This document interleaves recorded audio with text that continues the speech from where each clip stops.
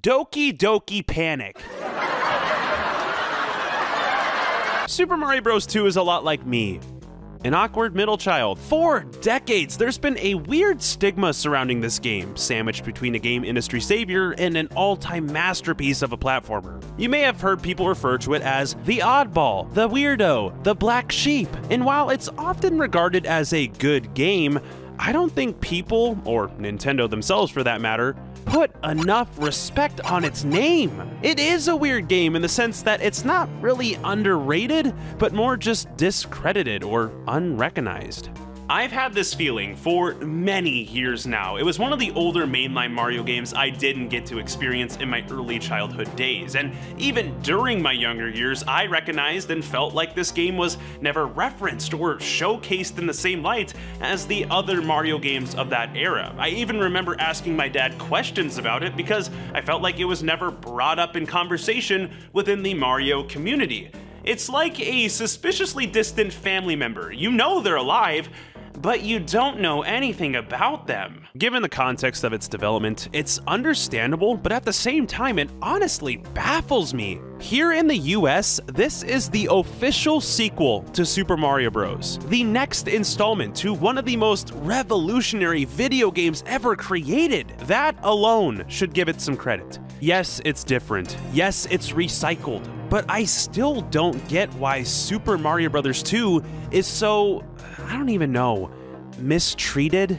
My goal is not to overhype this game, rather it's to recognize this game's significance to the Mario world, to Nintendo, and really just to give credit where credit is due, and to its credit, this game is genuinely a good game. hey, hey look, I can I can spin it. I cannot express to you the childhood mystery revolving around Super Mario Bros. 2. Seeing my old Mario game skip from 1 to 3, it just couldn't be. I may have been homeschooled, but with some simple math, I could spot a sequential mistake. See? The way my dad would describe it sounded so fascinating. I mean, playing as Toad? Throwing vegetables? What the heck is a Tri-Clyde? It wasn't until one fateful Christmas morning when I received Mario's 25th anniversary re-release of Super Mario All-Stars on the Wii. This was it, my first exposure to Mario Bros. 2. I had no knowledge, no bias, just a kid finally uncovering the mystery that was the awkward Mario middle child. It's not your typical Mario experience, as you're not stomping on Goombas or saving a princess. In fact, there's no such thing as stomping or Goombas, and you are the princess. Platforming is still the name of the game, however, Mario's formula is kind of flipped on its head, as everything isn't revolved around your feet, but rather your hands. Mario and friends finally decide to get their hands dirty as you pick up plants as projectiles, pick up enemies instead of stomping them, pick up keys to unlock doors. This simple change in design provides lots of different scenarios to work with, including levels where you find yourselves digging through sand pits. Other times, we have these mini escort missions with these cursed keys and evil flying things chasing you around. Even the act of killing enemies always felt a little more substantial because your options slightly varied or were even limited in certain situations. And I don't know, pulling up these big boy plants and chucking them at enemies' faces compared to just bopping them on the head just felt right. The concept is far from anything crazy. It's quite the opposite. It's simple. I really enjoy it, but there's gotta be more to it. Like, I can't put my finger on it. Oh, well, never mind, I just did. The moment you press the start button, you're greeted to my favorite feature this game offers four distinct playable characters, each with varying levels of strength, speed, and even some special abilities. Very few games explored this concept on the NES, and the way they handled it here was, in my opinion, pretty genius. If I had to describe each one, uh, Mario is the all around average Joe, Luigi is awkwardly athletic, Toad feels like he's buzzed on pre workout, and Peach is slow and can float because she's a delicate princess. I, don't freaking know. You're never forced to play as any of these characters, but some levels obviously favor some playstyles over others. This adds quite a bit of replay value in many aspects. The game is designed with every character in mind, and you have the freedom to choose how you want to approach each obstacle. If the platforming is too hard, you can choose Peach or Luigi. If the level involves a ton of digging, you can choose Mario or Toad.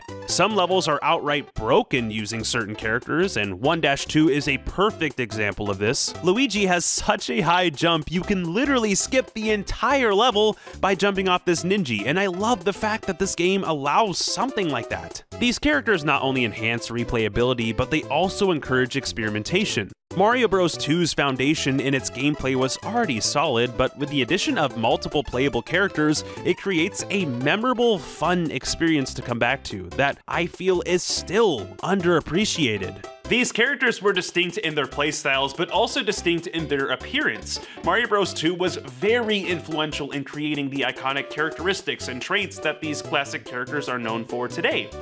Thankfully, not everything was set in stone after the original release because, uh, what even is this? I'll tell you, I'll tell you what it is. This is an abomination. The Mario universe in the 80s was still in its very early stages. I mean, Mario, Luigi, Toad, and Peach were the playable characters selected simply because those were the only characters they could select. But because of this decision and the way they brought these characters to light, the Mario universe truly began to blossom and solidify its identity. Not so much in its world, but mainly in these prominent protagonists. First was Mario, who is well known but not well established visually. Most of his designs before this were were, uh... They were mainly just inconsistent, but you gotta give them some grace here. They were still just figuring things out. Japan was a lot quicker in establishing Mario's identity, at least from an artwork point of view, but here in the US, it wasn't until Mario Bros. 2's debut where we would start to see his iconic attributes and style take form, both on the front cover, but also accurately depicted in-game as well. You got the shorter, slightly pudgier physique with the iconic red and blue color scheme. And even though the next installments slightly shifted his looks, this was ultimately ultimately the foundational pieces of Mario's modern day appearance. Luigi benefited most from his new design. Ever since the beginning, this guy has always been cast in the shadows, limited to being a palette swap with his brother on all fronts. But here, not only does he get a little taste of stardom, but we also get to see Luigi uniquely expressed in his appearance and physical attributes. He's sort of clumsy slash slippery, but can also jump extremely high with his goofy looking flutter kick. He's also taller, a little slimmer, and pointier compared to his brother. And I know his personality didn't get fleshed out until Luigi's Mansion on the GameCube, but this was a pinnacle game that truly defined Luigi as a separate character, a character who acts differently, looks differently, is more awkward in some ways. I also know Lost Levels may have technically made some of these changes first, but to me, this will always be the game that gave Luigi the proper opportunity to step out and be different. Now, Toad and Peach may have not been as influential visually, uh, one of them makes that pretty obvious, but being in this position more so just solidified themselves as key characters in the Mario world. I think it's extremely cool to see Toad going from a little NPC pipsqueak in a castle to being a full-fledged playable character in a grander adventure. What's even more impressive is seeing Princess Peach going from a damsel in distress to joining the crew and embracing a more substantial part. There's no question that this game played a major role in forming identity for these beloved characters. Some of them were properly updated over time, others were changed back to simple palette swaps again, but ultimately, these were the traits and characteristics they settled on years down the line. And because of this game, it planted a seed and blossomed these characters into who they are today. Mario Bros. 2's influence didn't just stop with the playable characters, but multiple mainstay enemies within the Mario world as well. Creatures like the Shy Guys, Pokies, Birdo, and Bob-ombs all had their first debut. Super Mario Bros. 2 walked so that King Bob-omb could run. Let that sink in for a moment. Here's something that doesn't get talked about. Super Mario Bros. 2 is trustworthy. Like, it would catch a grenade for you, throw its hand on a blade for you, jump in front of a train for you. It would do anything for you. What am I trying to say? Well, this game, in a sense, saved the Mario franchise. You see, Japan had its own Mario Bros. sequel, known in America as The Lost Levels. This next installment was a slightly enhanced version of the original with the same exact gameplay with more complex designs in its levels and mechanics. It was a sequel alright, however, it's more of a continuation of the previous game on all fronts, including its difficulty curve. This ultimately led to the game being extremely unforgiving and painfully difficult. If I had to sum up the game's experience, I would say I wish these levels were never found because honestly, they were probably lost for a reason. When presented to Nintendo of America, the decision was made to not release it to the American market because of the negative reception it could have potentially received. You also gotta remember, the game industry was still in its recovery stage from the crash of 1983, so paranoia was still lurking in the industry. To release something that's too difficult to the average consumer is one thing, but to release it attached to Nintendo's biggest and increasingly popular mascot could be detrimental to its reputation. Which brings us to this. Now, for some, it may be hard to give this game the title of Mario's Savior, which is understandable. If Lost Levels was released to the American audience with negative reception, could Mario have rebounded? I think so. I will say it probably would have been a little more of an upward battle after that, but if they stayed the course to Mario Bros. 3, I think it would have been fine. But then that brings up another question. Would Mario Bros. 3 even exist? The fact of the matter is, the US Super Mario Bros. 2 added fuel to the fire to Mario's momentum, gaining positive reception across the board and selling over 10 million copies worldwide. It solidified mainstay Mario characters and gave Western audiences and the Mario franchise as a whole a substantially better and influential sequel. Thank you guys so much for watching. If you want to support the channel, liking. Whoa, whoa, whoa, wait a minute, wait a minute. You're probably thinking, dude, you're just gonna breeze past the fact that Super Mario Bros. technically has two sequels? How is that even possible? How did they even manage to make two games within such a short time period? well, I'm glad you asked. Did you know that Super Mario Bros. 2 is a reskin of Doki Doki Okay, let's address this. There's uh there's been one small detail I forgot to mention. Uh Super Mario Bros 2 in the US is technically a recycled game.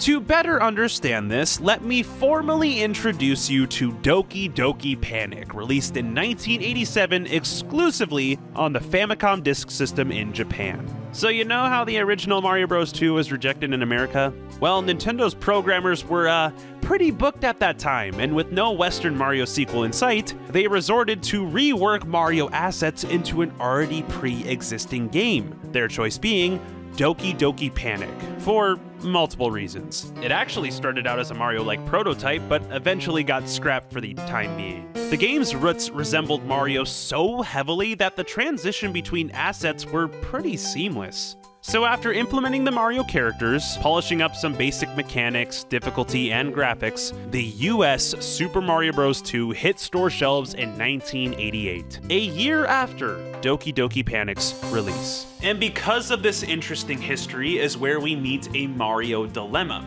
You have some fans who swear by the title of this being an official Mario sequel with Mario-like themes and Mario mechanics, where other fans don't even consider it a Mario title due to its black sheep nature and technically having recycled content. And what makes this even worse is Nintendo themselves, I feel, has felt this tension over the years on which side they stand on, which is why I think this dilemma is the root of why this game often lacks respect to the public eye. I feel as though Mario Bros. 2 is put in a tough spot because it's mostly perceived as the game that took a time crunch bullet for Mario's reputation. But like I've already mentioned, not only should it get more credit for being a franchise shield, but it's also so much more influential than just that. The thing that obviously gives it a bad rap, though, is its reskinned assets, which is a valid criticism. However, most people don't know the full context of the situation and are so fixated on the fact that it's reskinned and less on the fact that it fully revived a commercial failure Famicom gem.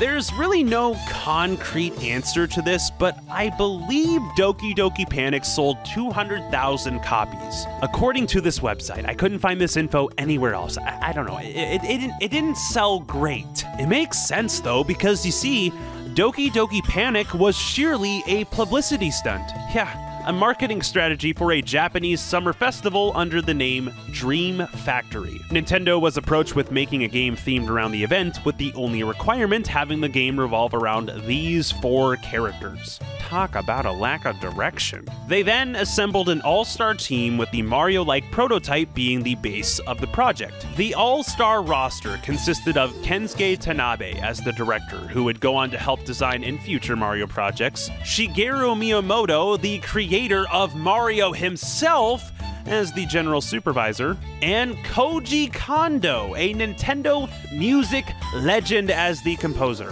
If that doesn't scream Mario, I don't know what does. And just to add a little cherry on top, as if it wasn't already Mario rooted enough, since it was a collaboration for both the Dream Factory event and Nintendo, Mario themed properties were sprinkled in the original Doki Doki Panic to begin with. So, the way I see it is Nintendo formed a quality team, put all these resources and time and effort into a genuinely good platformer just for it to flop on its face. So, in my opinion, it deserved a second chance. And it just so happened that the stars aligned in favor of Nintendo re releasing this game under a mascot who would guarantee more eyes but also fully embrace its Mario roots. So, in conclusion, given the whole context of the situation, I really don't think this game deserves as much hate as it gets for being a reskin of a game that was heavily inspired by Mario and designed by Mario minded people. In fact,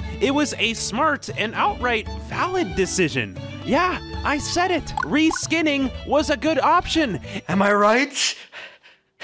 As if it wasn't obvious enough, I'm 100% an advocate for treating this as a genuine Mario sequel. In my eyes, it has the right ingredients, the right gameplay, the right developers, and honestly, a fair story to warrant that this is, in fact, a Mario game.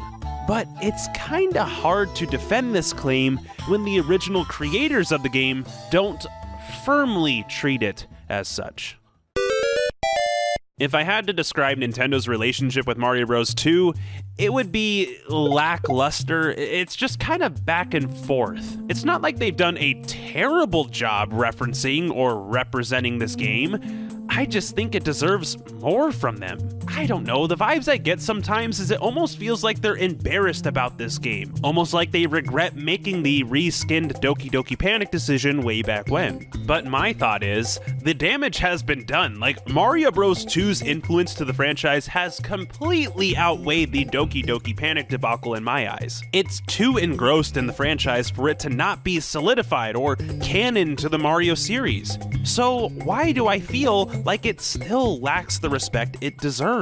Most of the time, the references we do get are either very subtle, placed in spin offs, or feel like afterthoughts. The only authentic shoutout I feel this game has had is with Super Mario 3D World. Seeing four player co op with Mario, Luigi, Peach, and Toad having their original Super Mario Bros. 2 attributes was so sick. I remember, even as a kid, seeing Mario Bros. 2 get some proper representation like this genuinely made me so happy. But at the same time, you get a game like Mario Maker, one of the biggest callbacks to Mario's legacy, and yet we get little to nothing involving Mario Bros. 2. Now, I completely understand that Mario Bros. 2's engine didn't fit the seamless Mario Maker formula, but I still think it deserved some sort of representation. Thankfully, Mario Maker 2 did end up finding a smart way to implement Mario Bros. 2 representation, but again, this was pretty limited and added later on as a content update, which felt kind of like an afterthought. A more recent example of a wasted opportunity for representation is with Super Mario Wonder. This game is phenomenal. I really don't have many complaints with it, and all I'm really saying here is this could have been a perfect time to add something weird and different from Mario Bros. 2 in a weird and different game like Mario Wonder. I mean, the whole Wonder Effect thing would have made for a cool gameplay shift into Mario Bros. 2's engine with the whole picking and throwing things. I will say they did rep Mario 2 a little bit here and there. I'm assuming these two badges are referencing both the super crouch jump as well as Luigi's high jump flutter kick, but again, I'm just assuming that's the case. Enemy representation for Mario 2 has never been a huge problem. I know a few enemies have made their way into mainstay status within the Mario universe. However, I still think there's plenty more to pull from. My guys Flurry, Pidgit, Phanto, Hoopster, Albatoss. Oh, and by far the biggest wasted potential in my opinion is the lack of repping the Mario Bros 2 villains. Like, come on, you're really gonna leave these guys on the front porch while the Koopalings are partying in the back? I absolutely love these characters Mouser, Fry Guy, Tri-Clyde, Clawgrip, and last but certainly not least, Wart. Can we talk about this dude for a second? Like, why has Zelda given this man more representation? Like, if there was a Mario character that I would die for a reappearance, it would hands down be Wart from Subcon. I think he's so cool. His design, his dreamlike powers, his expressiveness. I demand this dude be brought back for something. Heck, I don't even care if he's an assist trophy in Smash. Seriously, though, every single one of these guys 100% deserves a spot in like a Mario Kart roster. I think they would be amazing as throwback bosses in a future Mario title. I love these designs, I love how different they are. It just sucks they've been shafted so hard. Especially my dude, Wart. Like, out of all these guys, my man Wart deserves to live another day. Hashtag bring back Wart. I have been waiting to properly get that off my chest for so long. I don't know, it's hard for people to regard this game with respect when the company who made it years ago doesn't fully do so. I mean, Nintendo, like I've said, this game isn't going anywhere, so instead of bashfully throwing bones here and there, just fully embrace it. But yeah, the likelihood of Nintendo actually doing this is like the premise of this whole game. It's just a dream. Super Mario Bros. 2 is a weird game, no doubt about it. It has a very interesting history, a lackluster relationship with its creator, but also an influential legacy that can't be ignored. And all of this combines into a public perception that leans more into mistreatment in my eyes. My hope is that my defense towards this game gives it less ridiculing pointer fingers and more respectable thumbs up, because as if I haven't stated it enough, I really do think this game deserves way more love and respect from both the general audience, but also its very own creators. It's a game I have a weird attachment to, and I'm not even really sure why. It's a great platformer, and just like a middle child, it's flown under the radar because it did its job so well. I can say that because I am one. Super Mario Bros. 2 is a Mario game. I'm sorry, it is. But the, you've heard my whole spiel by now. This really just gave me an excuse to shout out my boy Wart again. Seriously though, you should really get this hashtag trending because this man deserves it. But let me know what you think about this whole Mario 2 topic down below in the comments. And if you made it this far, I just wanted to say thank you so much for watching. If you want to support the channel, uh, liking, subscribing, commenting, you know the whole drill, is a great way to do so. But again, I just wanted to say thanks, and I will hopefully see you guys here soon.